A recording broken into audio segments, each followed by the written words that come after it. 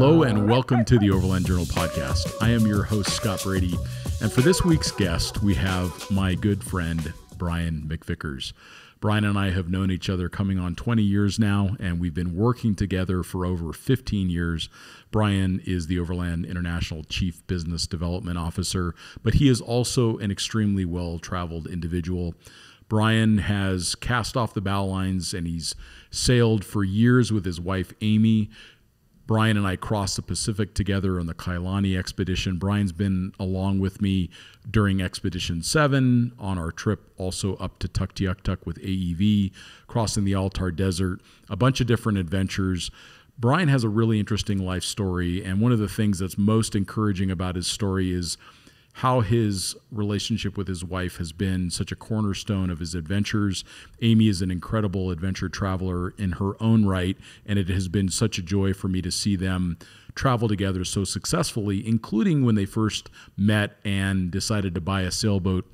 Uh, kind of sight unseen, moved down to Florida, uh, live on the boat in a marina for two years. But they also talk about why there was a certain point in time that they know they needed to stop trying to prepare the boat and cast off those bow lines and leave the marina for the Caribbean uh, islands and for the Atlantic Ocean. So enjoy my wide ranging conversation with Brian McVickers about overlanding, sailing, and about a life filled with casting off those bow lines. This content is brought to you by Overland Journal, our premium quality print publication.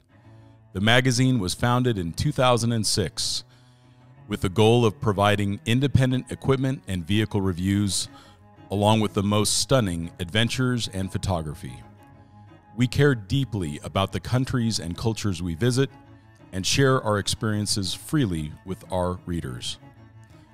We also have zero advertorial policy and do not accept any advertiser compensation for our reviews.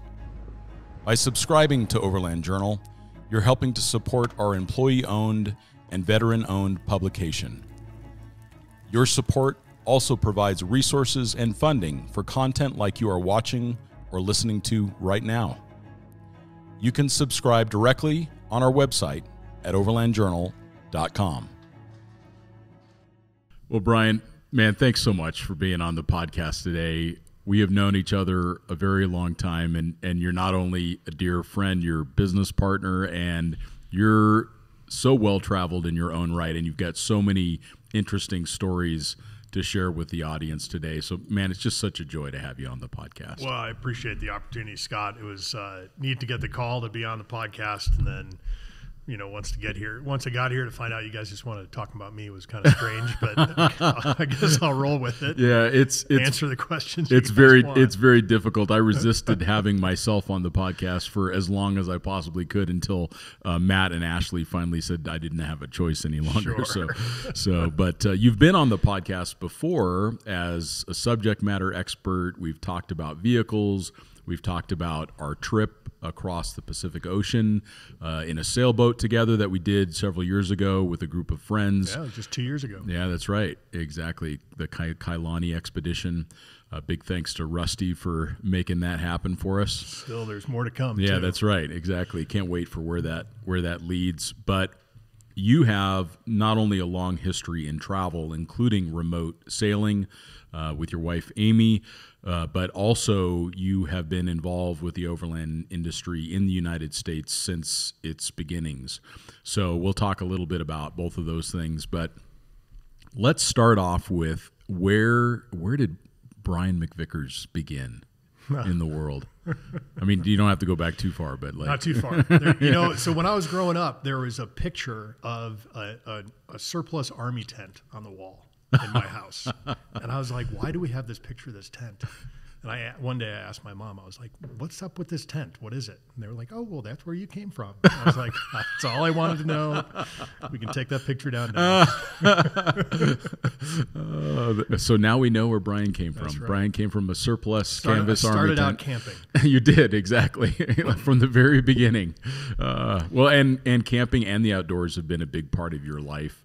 Uh, so so you grew up in the Chicago area, did. and let's talk a bit a bit about the outdoor experiences that you had because you it's been a lifetime passion of yours. It has. You know, I, I think so. I grew up in Chicago, uh, in the suburbs of Chicago, in, in a place called La Grange. Um, it's like you know about 30 minutes outside of the city from the lakefront. And you know, as a kid, I was I was a Boy Scout for a while. Um, always enjoyed the outdoors. I was, also did a lot of team sports. Um, and then I think towards high school, I started to get a little bit more involved in travel. Um, I was very, in hindsight, I was ex- extremely fortunate that my my stepfather was um, an, a United Airlines pilot. Oh wow, that I didn't know. And so he was a United Airlines pilot for a long time. And when I was in high school, we had this book of tickets that was basically like a checkbook with a carbon copy in it. And so we could go to the airport and look and see what flights were open, and we could write our own ticket to go wherever we wanted to, as long as there was a flight and a seat and a seat. Wow! Right, and um, and so we'd go travel on the weekends. We'd go, you know, sometimes we'd go on a little bit more exotic trips. I remember one weekend we just flew to Paris for a three day trip to go to the Paris Boat Show, oh. and then turned around and came home.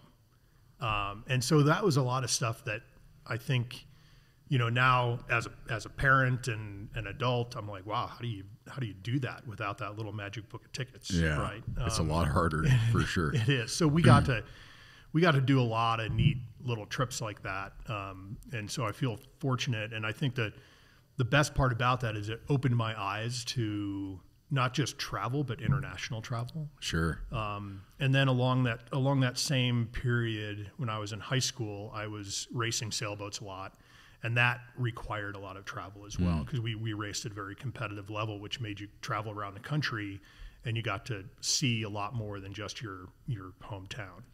So, well, and, and I remember, I mean, and it's interesting how sailing has remained woven throughout your life, but one of the things that I do remember was that you felt like you learned a lot about working with a team.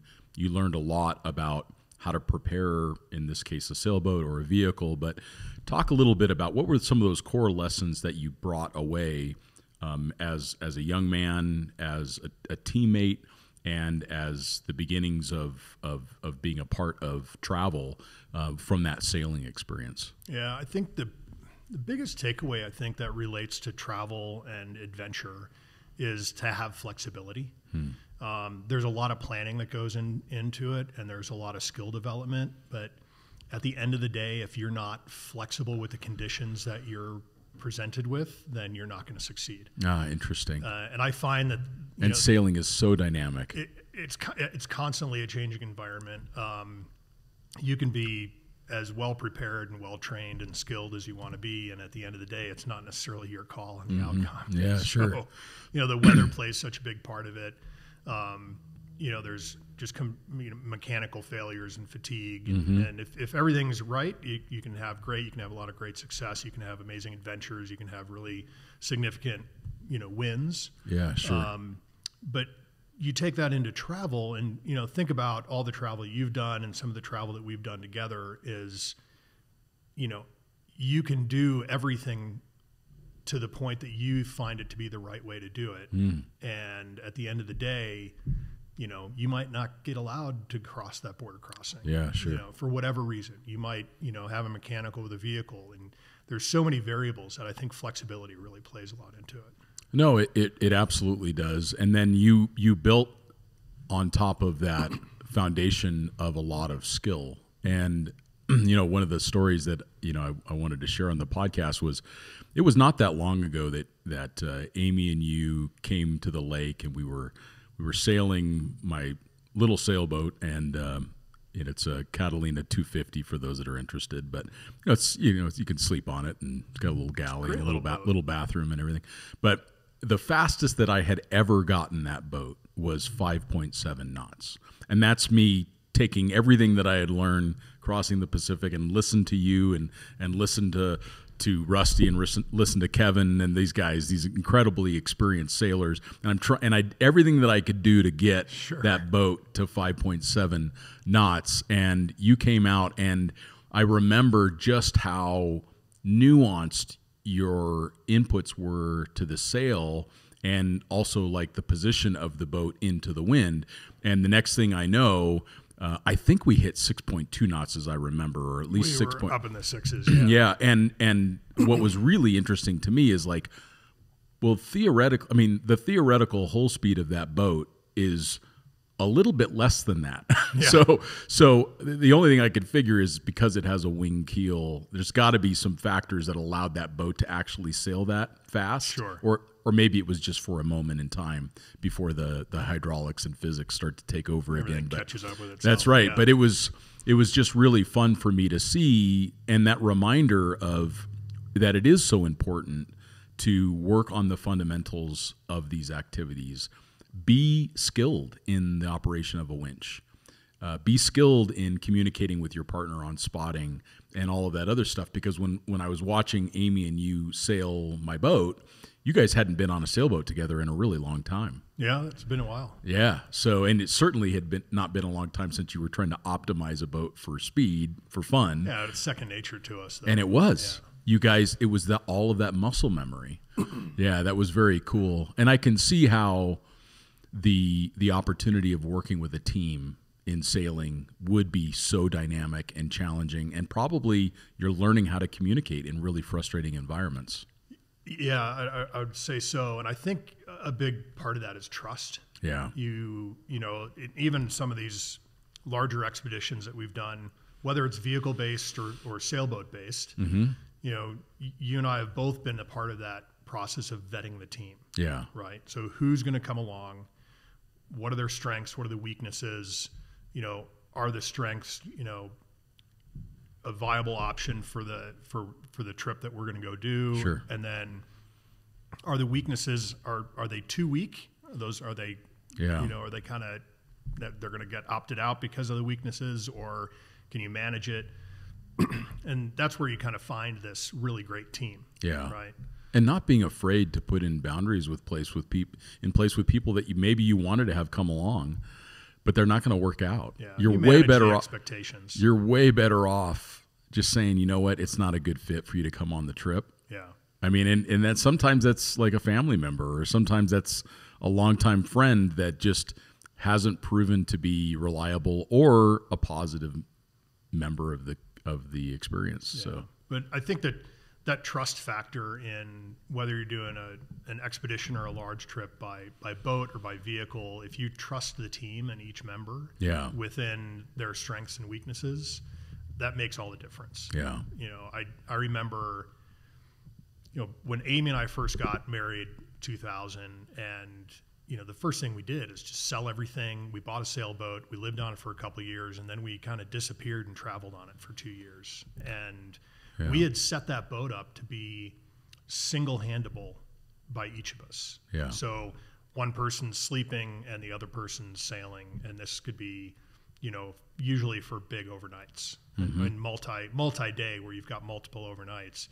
But you know, to wake up at two thirty in the morning on your ear, right? So you're Yeah. the boat's heeled over and you're in a storm, and you wake up and you're completely calm about it because you trust Yeah. that the other person is completely competent Mm-hmm. and trustworthy and, and you, you have no question about what's going on. yeah And then to be able to fall back asleep, that says a lot about the people that you're traveling with. So we started out our marriage that way, um, which I think carries over to today. Um, Oh, I see it. And Yeah. and you know, I think a carryover to the overlanding thing is if you're traveling with someone and you cannot feel comfortable closing your eyes while they're driving, sure. it's probably a good idea to adjust either adjust expectations or they need some additional training or you need a different travel partner Yeah. because it's so interesting how people drive to their own desires, not to the fact that they have a car filled with people or at least one other person. Sure. So um, when we're driving overland vehicles, particularly internationally or during longer trips, expeditions, I mean, I think about when I was crossing Antarctica, you know, like if I didn't get sleep, I wouldn't be able to drive for that next 12, 14 hour stint. Right. Um, and so the how mindful that person was was really cr- critical. I mean, could I? Can you sleep in the passenger seat with a person that's driving? maybe ask yourself that question. So Yeah. Well, I remember when we were driving across Europe and then Yeah. and everything was great. And then I I had to leave early, so I I left. Yeah. you, you had a couple other drivers with you. And, Yeah. and I remember talking with you the next week, and it's it's a different experience. It was terrifying, yeah. Yeah. So Yeah, no, it makes it makes a really big difference, and so being able to get that rest. So let's back up a little bit because this this story about Amy and you is is so interesting, and it's also it's also re, I think it does carry over a lot to people that are traveling by vehicle as a couple. But um, well, let's start out. It's a little bit of a fun story. So w- you were her teacher, weren't you? I was her sailing instructor. Yeah. exactly. So she so she shows up for the for a sailing class. Yeah, her and her ex boyfriend. soon to be ex boyfriend. I like this. Okay. All right. So I, I think it was on its way out. It had nothing to do with me. I, I, I don't know about that. I don't know about that.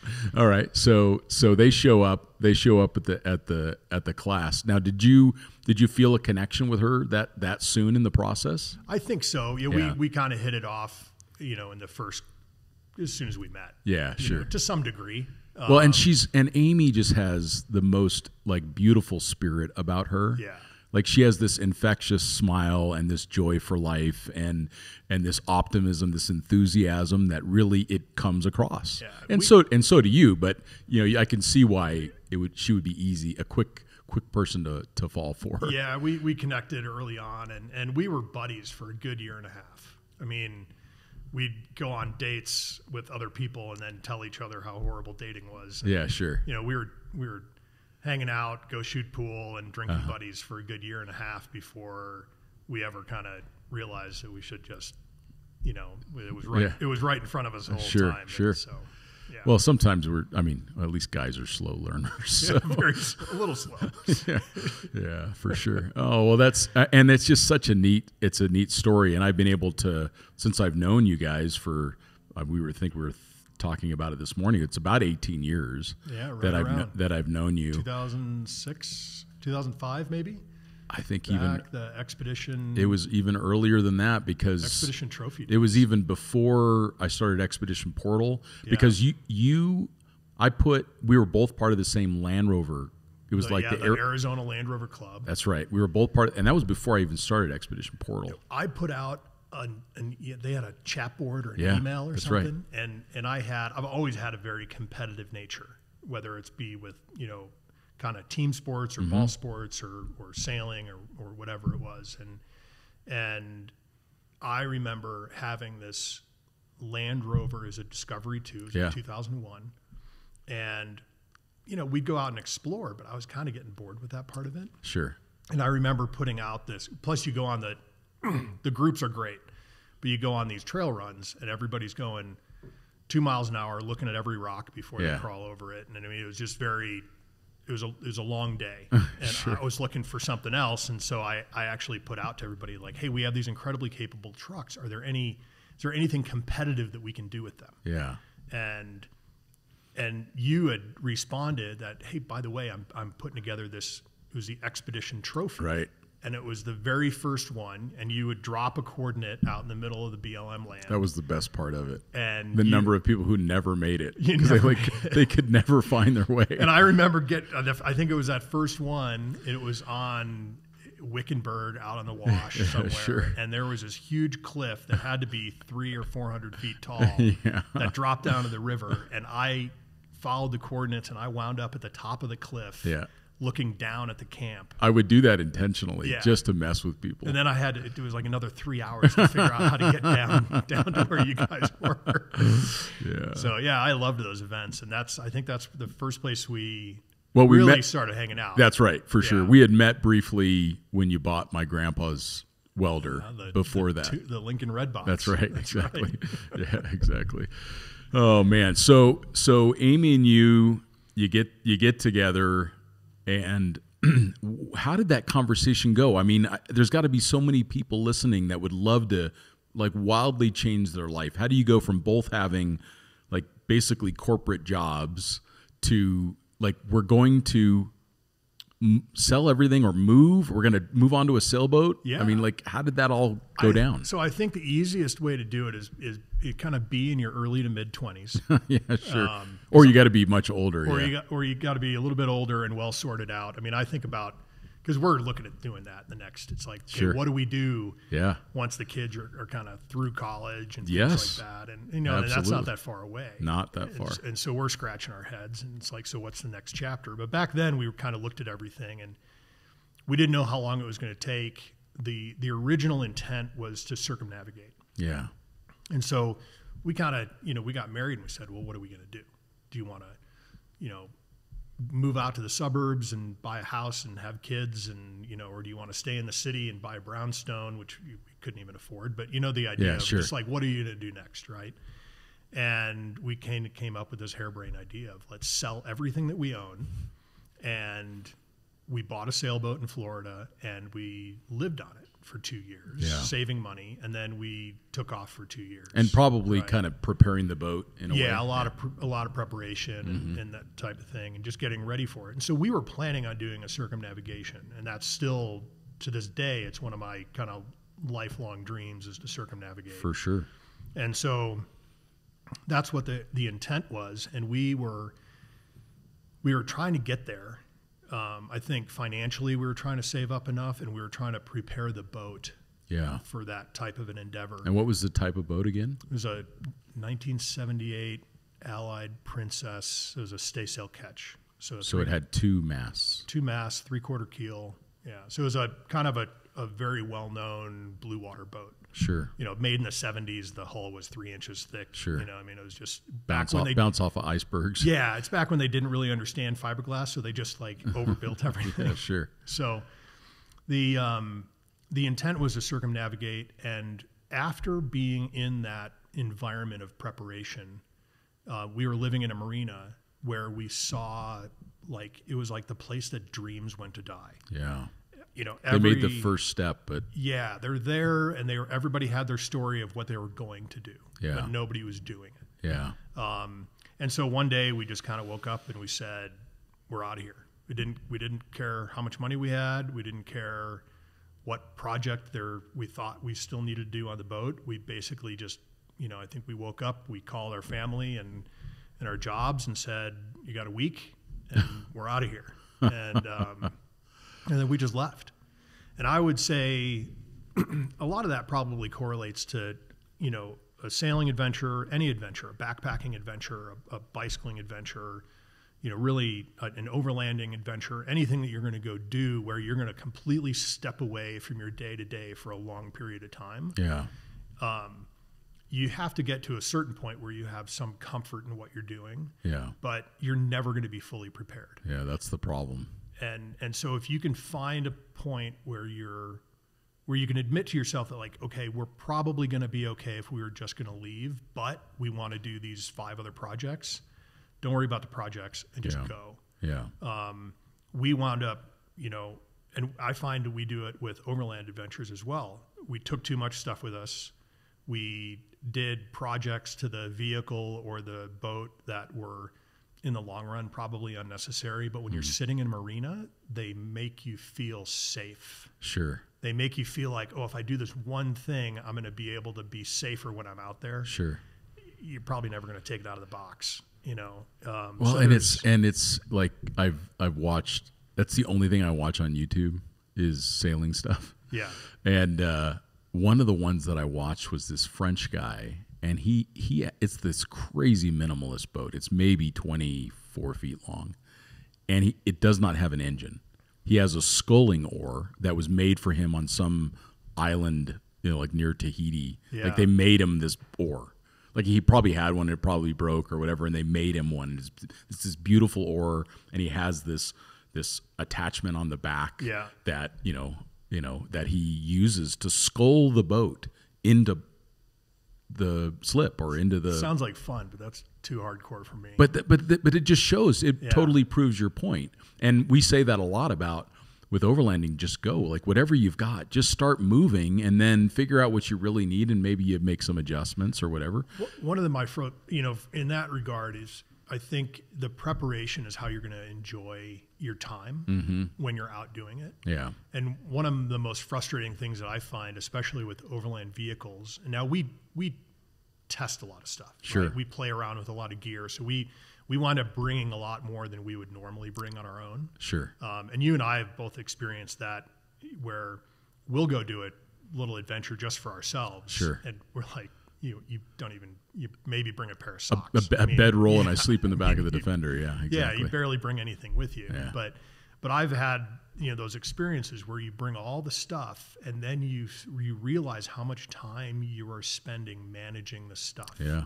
Instead of enjoying the environment that you went to go see to begin with. Mm-hmm. Um, so in that regard, I think I'm a bit of a minimalist, um, but I'm also a bit of a gadget guy. I love all the gear. I love the innovation. I love to see kind of how, in, in an ideal situation, like how does that piece of gear enhance the experience? Totally. And a lot of times they do. Yeah, but it, it helps to be prepared. Like read the instructions and install it before you get to camp.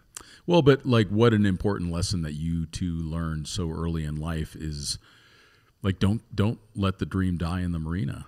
Like you chose you chose like you had the awareness to say like if we aren't careful, we're going to get more and more comfortable Yeah. with the idea of not leaving and you're probably going to get promoted and you know either you're going to or you're going to think like oh maybe we should buy a newer boat or a bigger boat or a more comfortable boat and and you, you you're right you never actually get to go Yeah, and Amy was a big driver in that. I think she actually, I think she actually said we need to go or we're gonna we got to go do something else. Yeah, sure. because the you know the marinas are great and it depends on why you're there, um, but it's easy to stagnate. Yeah.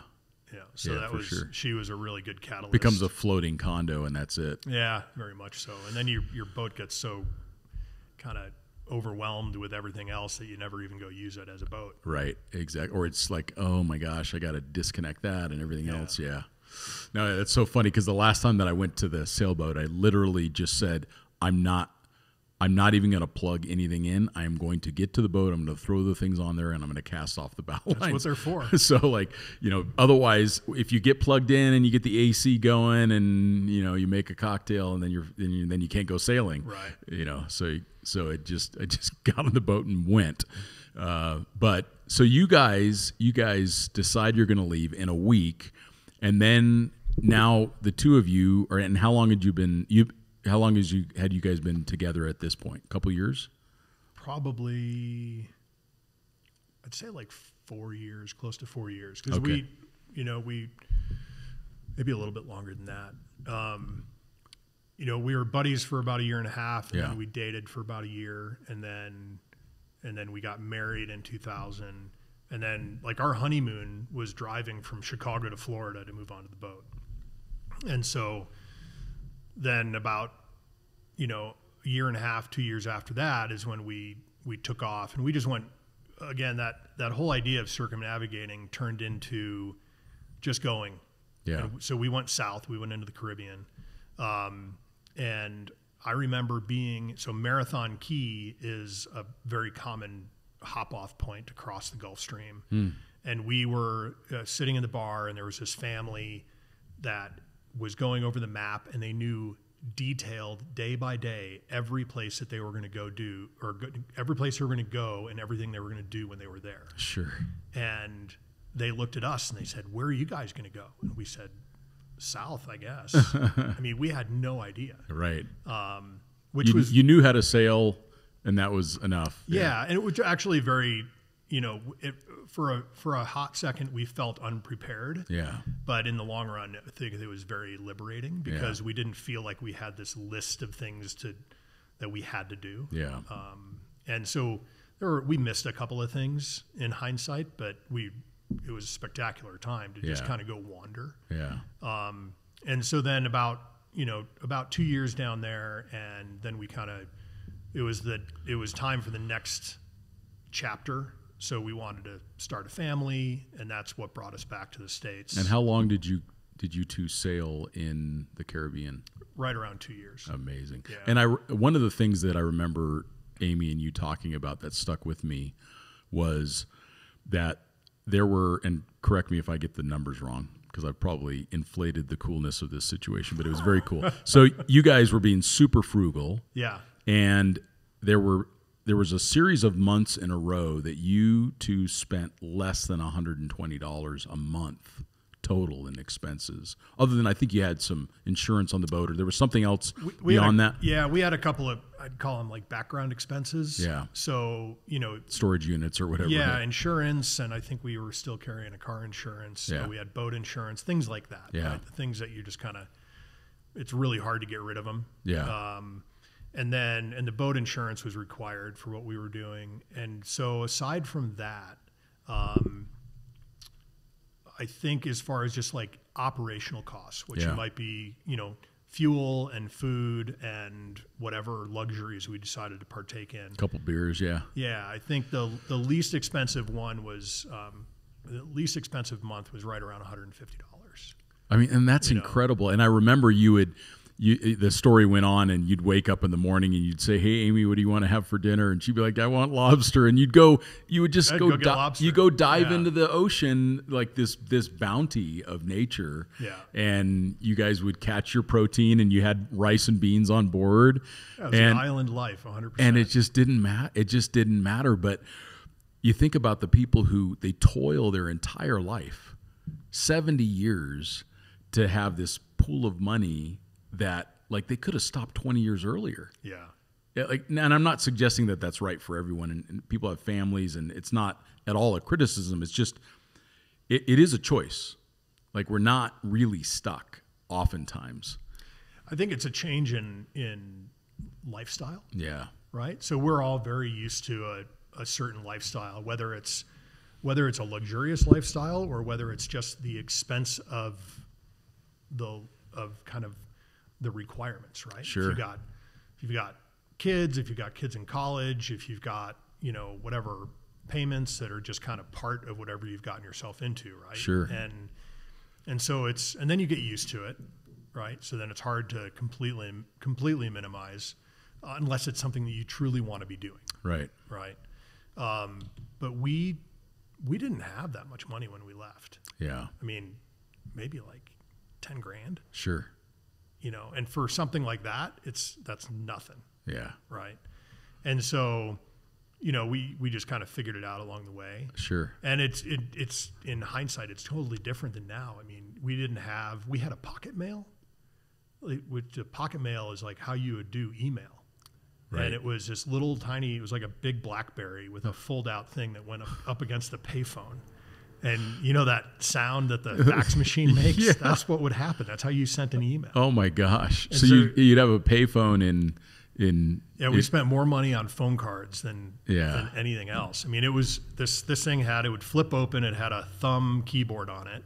You'd write an email, you'd close it, you'd pop out the little phone connector, and you'd hold them up to each other, and they would do the fax machine garbles back and forth, and then that's how you sent an email. And so now, looking at it with something like Starlink, we'd probably still be out there yeah you know yeah, because you coulda worked. you, you could work from the road sure. you can work from wherever you're at and so you know i think that going back to like how you would just go and do it it's you know you kind of find that reduction in needs yeah and then but you're doing it for the for the right reasons you're doing because you want to be Yeah. doing it so you find that reduction in needs and then you kind of sh- shift the perspective and then you and you go do it and if that's not what you want it might not work yeah. Was that one of the happiest times of your life? Yeah, probably. Probably. I mean, it's 20 years and I still talk about it, or 30 years, And whatever I it is. yeah, and I think because because Matt Scott talks about a similar thing when Laura and him drove around Australia, and it was like they had the low least amount of money they've ever had in their life, and he had never been happier. Yeah, So it's just like, There's- boy, it's a it's just a such a tough lesson to learn, it is. You know, but I mean, and you guys know that now. and we do, and we'll figure out how to get back to it. Yeah. You know, but right well, now, it's, you're well. That's but that's another thing that I I so respect about you, Brian, is that when Amy and you decided to have children, and like very s- soon after you had both kids, I mean, you guys were a regular part of my life. So I've seen your kids grow up, and I've seen the quality of parents that Amy and you are, and I have never once seen you guys make a decision that wasn't fully vested in the success of your children and the happiness and the safety and the care of your kids. Um, and that is a huge sacrifice. Like you've literally said, this is now the most important thing in my life. And the idea of going sailing or living on 120 bucks a month that doesn't it doesn't fit Right. with what is now the most important thing in your life. Yeah, well, they're and they're great kids, and we have They're amazing I feel kids. very fortunate that we have a.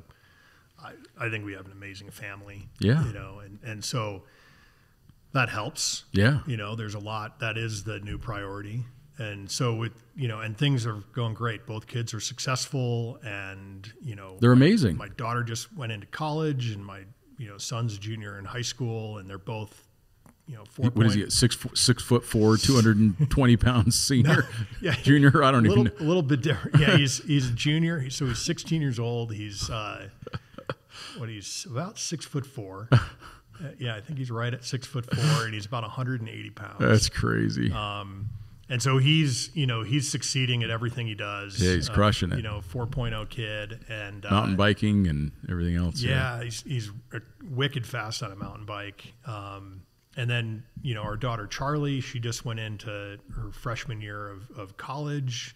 She got a partial scholarship. She's 4.0. I mean, every everything is just kind of going really well.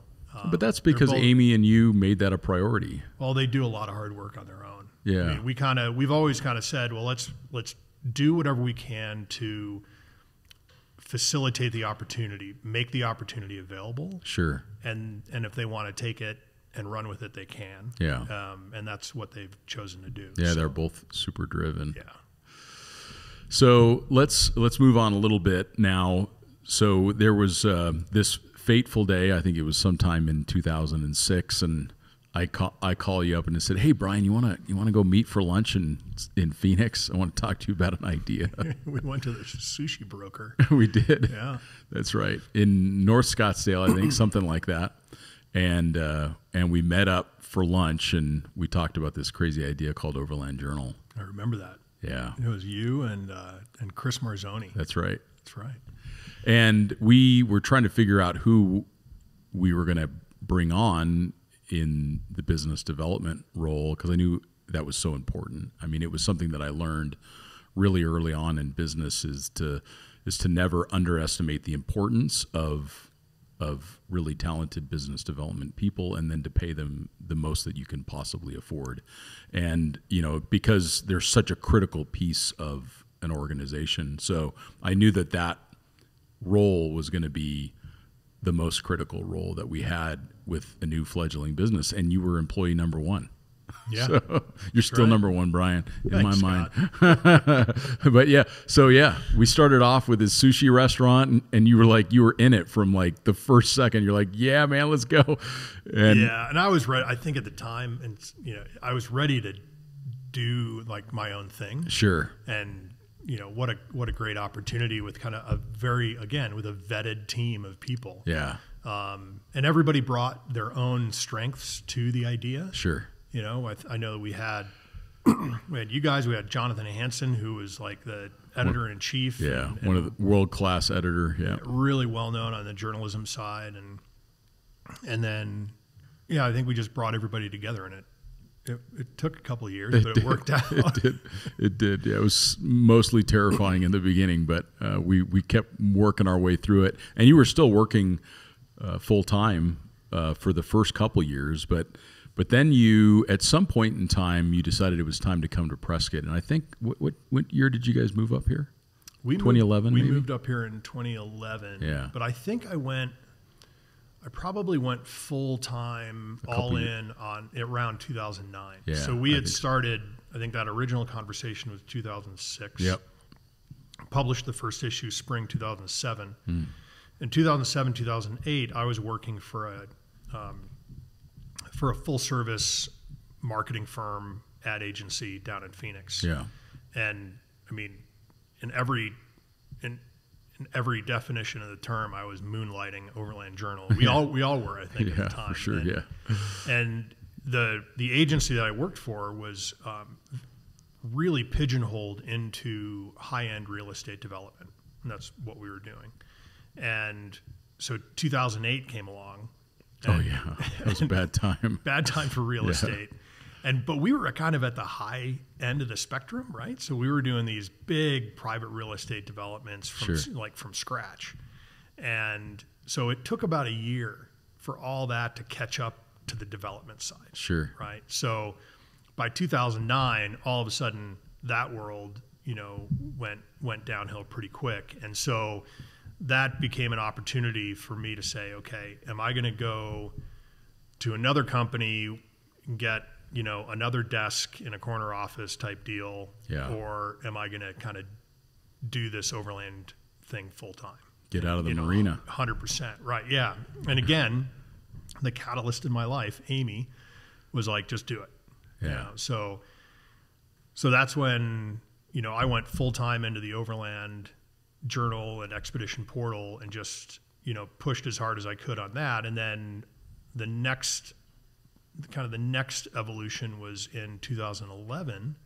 Amy was graduating from her master's degree Yeah. and as part of her master's degree, she had um, she had to stop working and do this like three or six month internship. So she did that, and then after she was done with the internship, and it was really this as part of her master's degree, it was a you know an, an experiential um, practice Sure. of an internship, and so that after that she had this opportunity of you know does she go back to the job that she had before or she kind of had a, a clean slate Sure. so that's when we decided we were living in in phoenix which neither one of us really enjoyed phoenix Sure. so that's when It's we an moved, acquired taste for sure. it's how people do it but that's when we moved up to prescott and and then i, th- I think that it was really good for all of us i think that was kind of another shot in the arm It seemed like it. because we were all in the office every day or, or immediately accessible to No, the another. business really grew at that Yeah. point because then we had we had the whole kind of dream team all firing on all cylinders. yeah we did so Yeah. So then you've done some really interesting trips since since you started working with us. So I mean, I think back on one of the first real big ones that we did together was uh, driving up to Tuktoyaktuk. Oh, that's right, with uh, with the guys from AEV. That's right. And before that, you had helped me with Expedition Seven. We moved some trucks throughout Europe, and that was really cool too. but was cool. you know, it was definitely a mission. it was a delivery. Yeah, it was like a vehicle delivery, vehicle delivery We did mission. nine countries in five days. That's right. We drove from we drove from uh, from Prague to Patrice's place in France. That's right. In the Yeah. south of France. That's right. Exactly. and then we went all the way up to Estonia. Yes. So then we had to drive them. Well, no, no, no. Yeah. The, n- did you drive them to with to, to Estonia? Yeah, all That's the way to right. the border. That's right. Yeah, Yeah. that's right. Exactly. You helped me get them all the way up to Estonia because we were about to cross Russia. That's right. Like the next day that we met that Russian fixer That's right.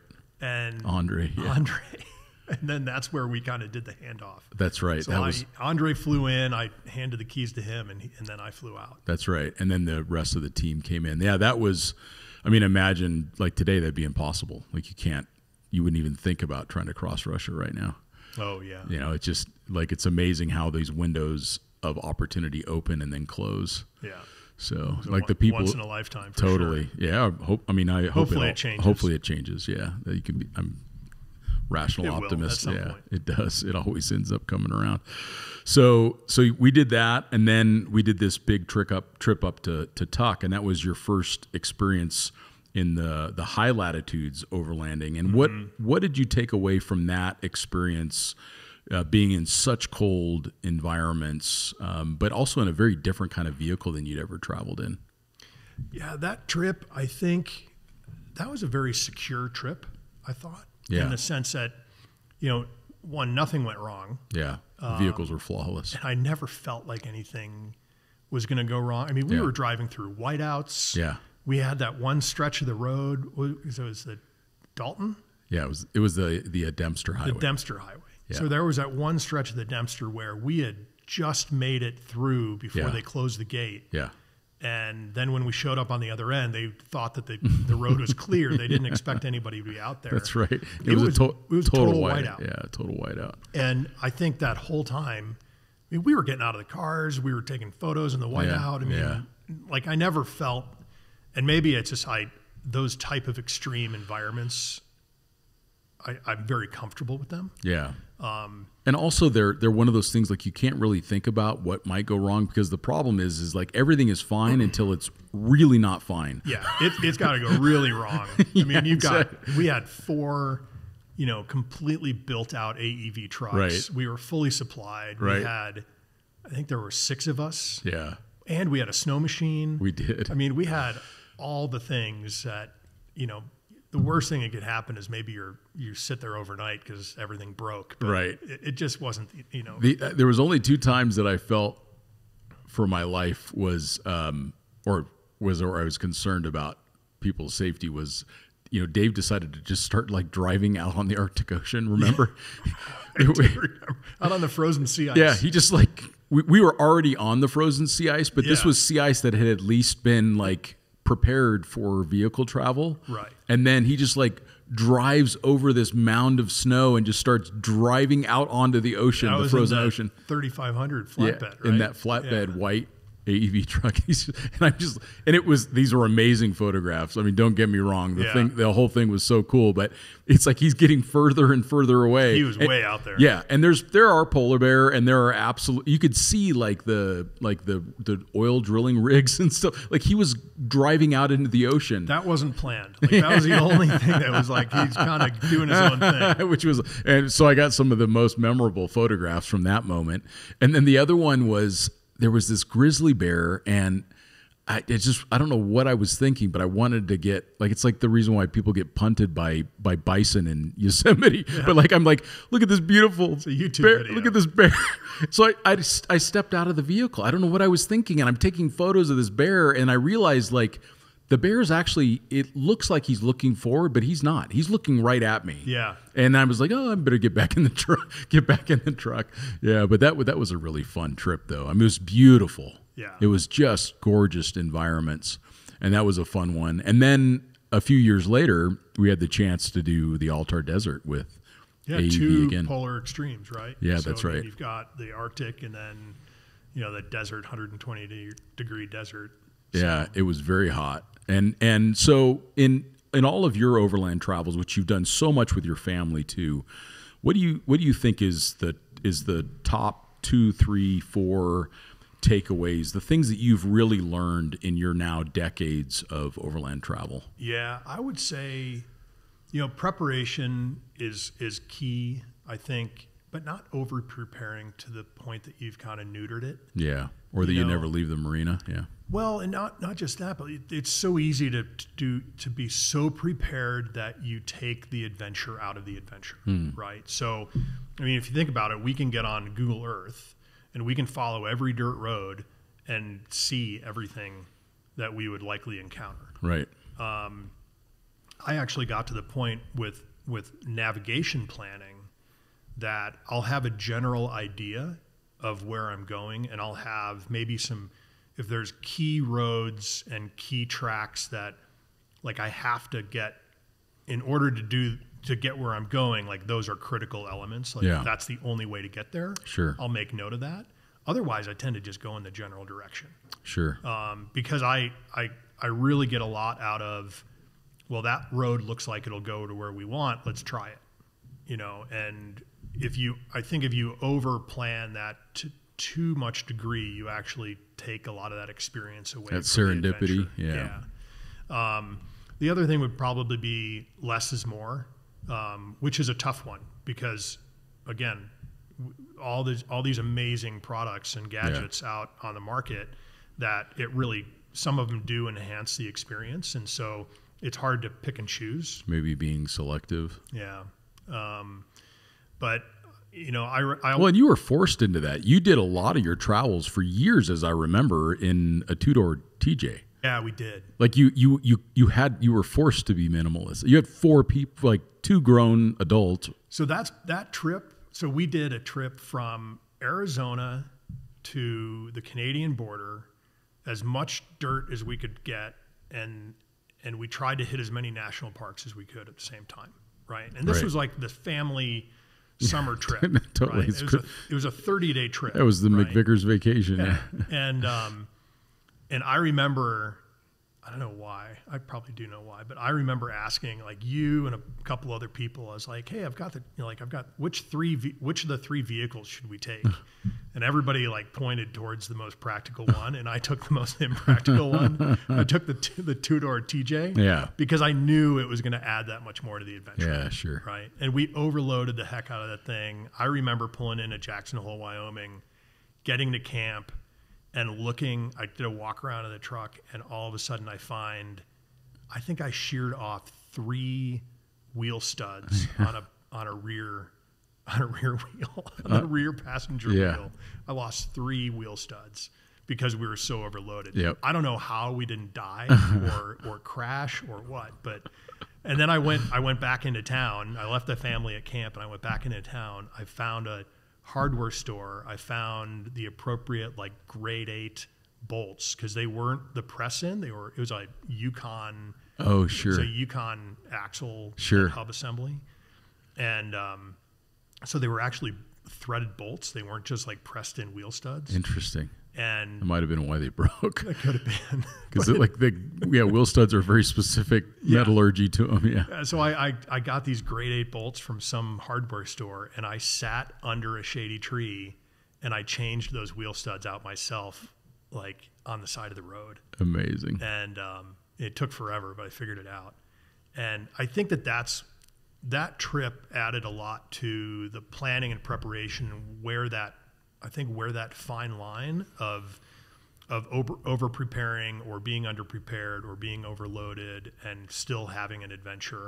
You know, I remember it's um, somewhere in I think it's southern Utah, but there's a there are these three mountains. There's like Crystal Mountain, and then there's like the Moon Mountain and the Sun Mountain, Okay. right? And there's It a sounds like Sedona Vortex to it, me. it, su- yeah, it's way out there, and uh, Literally. there's this there's a national park. I, I don't remember any of the names right now, but there's a national park, and then just north of that, you take this this dirt track that I remember. Amy and I looking at each other, and then looking in the back seat at the kids, and then kind of questioning whether or not this was a good idea. and, and we just still went and did it, right? Yeah. And um, I, we were incredibly remote. Yeah. In this vehicle, this little TJ, family of four, all to ourselves, and that's it. So this is the 11:20. It's 11:20 a.m. This is the national emergency broadcast system. It's going off on every it's device. It's going off on every device in Arizona. It is not going off on my light phone because my light phone it is yeah, I call it the a potato. potato. I call it the potato. It it kind of texts and it kind of does phone calls. Yeah, they they they talked about this on uh, NPR this morning. There's no way to opt out of it. Oh, it's got being it. delivered to every device. Got it. In well, it looks like it just, it looks like it just did it. So That's all it took. that's so funny. Now you know exactly when we were recording That's this right. podcast. It's a moment in history. So the other thing that I, I really wanted to talk about and ask you about on this podcast because it's again it's just been such a, a joy to watch Amy and you travel together and remain so close and it's I'm not implying at all that you guys don't ever have challenges but it's it's it's a beautiful relationship to see and it's so rare to see people stay together and to to still be as in love with each other as you guys are I mean I just like when you guys get to giggling, you know, and it's just really awesome. It's awesome. like it's it's literally like two school kids, you know. Like sometimes when you guys get go, get going, but it's like that is so rare to find. Um, and and I know that there are people that are listening that wish they could be closer with their spouse, so that they could travel better with their spouse, or they would like to travel with their spouse or with in a new relationship. What advice would you give around relationships and traveling in remote areas around the world with your spouse? Yeah. Well, Jesus, it's like the million dollar question, right? Yeah, that's why I asked it. yeah, I don't know. I mean, for us, it, it, it comes pretty naturally. I don't know if I've ever analyzed it. Um, I, I probably think about it more when we travel with other people hmm.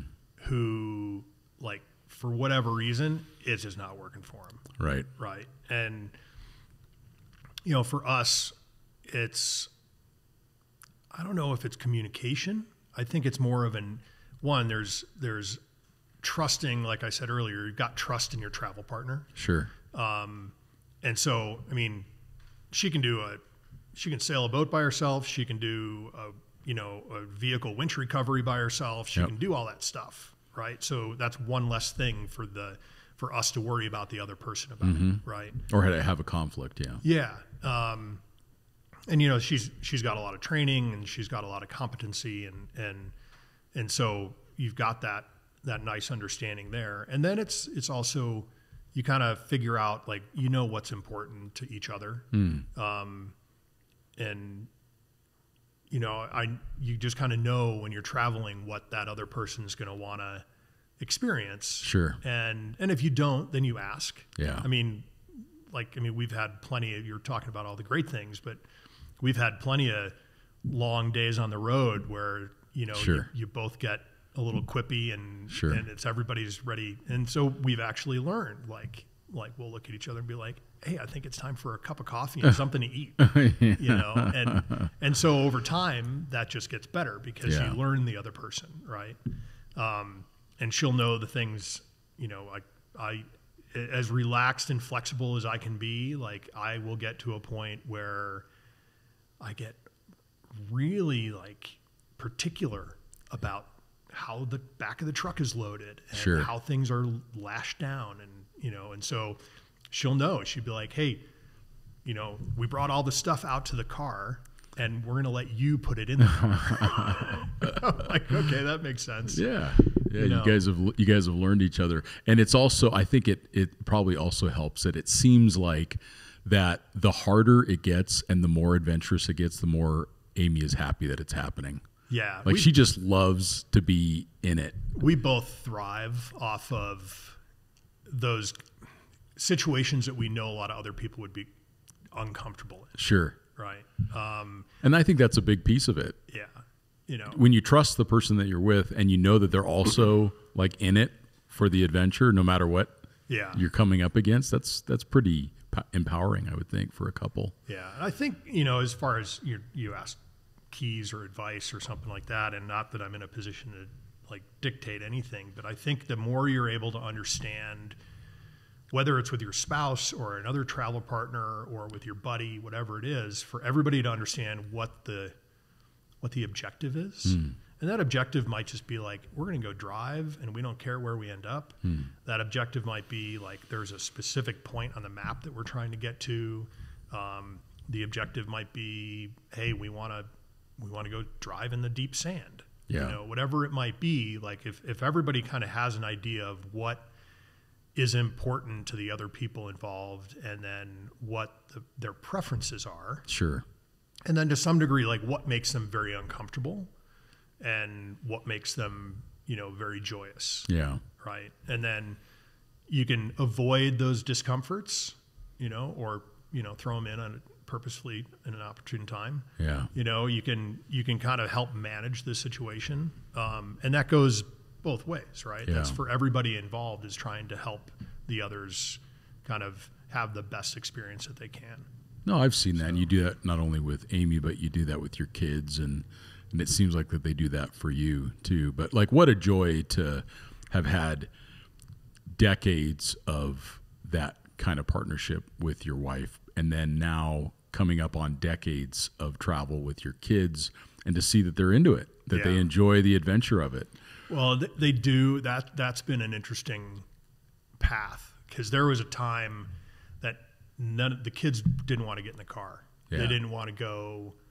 You know, it, we joke with Max because something happened in his childhood. and We don't know when and where, but something we did, I'm sure, is if you say, "Hey, Max, you want to go on a hike?" He's absolutely against it. He doesn't want to go on a hike. But so we've had to say, "Hey, do you want to go on an adventure walk?"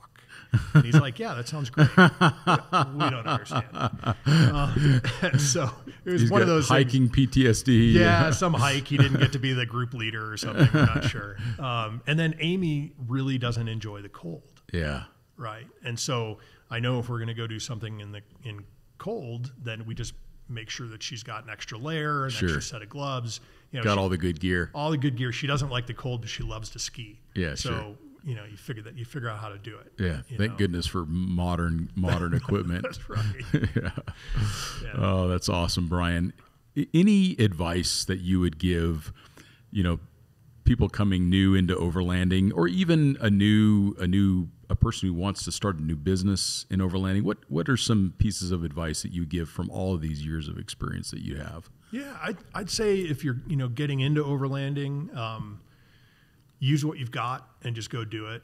Um, you know that there, there's no real right or wrong way to do overlanding. Um, I mean, overlanding is essentially it's vehicle supported adventure. Yeah, So we can't tell you what that adventure part means yeah, right? And if that means that you're going to go, you know, down the forest track and go bird watching, well, that's that's fair, yep, right? Um, and if that means, hey, I'm going to drive to the most remote point on the earth that I can access, sure, that's fair too, sure, right? And then you've got everything in between. So I think it's really easy for people to get intimidated by Yeah. either overlanding or any new sport or activity that they're going to get involved in. sure, And if you can kind of lower those barriers of there's no absolute right or wrong way to do it. yeah, And the easiest way to do it is to use what you've got, use the vehicle you already have, use the the equipment that you already have and and go do it. Go do whatever your version of it is. yeah, And then from there, if you want to evolve into the activity, you can start to identify, you know, what was easy, what was hard, where do I think I need improvement, whether Yeah. it's through your own training as a driver or as, you know, whatever it is. If you need more medical training, if you need more, um, I mean, you can get trained on anything sure, right? So if you need more training or if you need different type of equipment, right? I mean, you'll figure that out as you go. yeah, along. you figure it out. I'm saying just go with what you've got. But if Yeah. all you've got is a sweater and you go into a monsoon environment, well, you're going to figure that out. But don't Exactly. prevent it from letting you go. yeah, for sure. Oh, that's great. That's great advice, Brian. And then from the business standpoint, I think, you know, nowadays there's so many things out there in the marketplace and there's so many different versions of them. You know, my advice would be to, you know, do your homework, study the environment a bit, the business environment and the and kind of the consumer environment and try to find a hole that hasn't been addressed yet. Find Yeah. a need that hasn't been addressed yet. Um, we've got plenty of the same thing with a different colorway or a different Yeah. logo on it. It all Right. comes in on the same container Yeah, from it's all China. coming yeah. from the same Yeah. place. I mean, we've got plenty of that. But if you can find a way to fill a need and provide a solution, your your path to success is going to be much faster. Yeah, yeah, and it's interesting. Like even like that uh, unique componentry modification to the Starlink.